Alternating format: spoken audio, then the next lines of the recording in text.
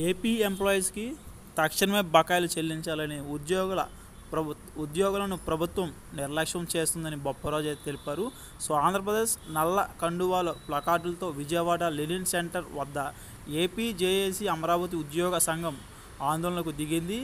ఏపీలో ఉద్యోగులను ప్రభుత్వం నిర్లక్ష్యం చేస్తుందని సమయానికి జీతాలు ఇవ్వలేని దుస్థితిలో సర్కార్ ఉందని బొప్పరాజు వెంకటేశ్వర్లు విమర్శించారు. ఉద్యోగులకే డెబ్బై వేల కోట్లు ఖర్చు చేస్తున్నారా? వాలంటీర్లు సలహాదారులకు ఇరవై వేల కోట్లు ఇస్తున్న మాట ఎందుకు చెప్పడం లేదని ప్రశ్నించారు.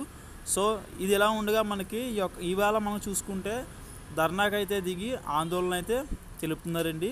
సో ఉద్యోగులకి సకాలంలో జీతాలు అయితే ఇవ్వాలని సో కోరుకుంటున్నారు. సో ఎవరైతే ఉద్యోగులు ఉన్నారో అందరూ కూడా తప్పకుండా మన ఛానల్ అయితే సబ్స్క్రైబ్ చేసుకోండి. ఎప్పటికప్పుడు లేటెస్ట్ అప్డేట్స్ అన్నీ కూడా నేనైతే వీడియో చేసి మీకు తెలియజేస్తుంటాను ఇది ఫ్రెండ్స్ వీడియోలో.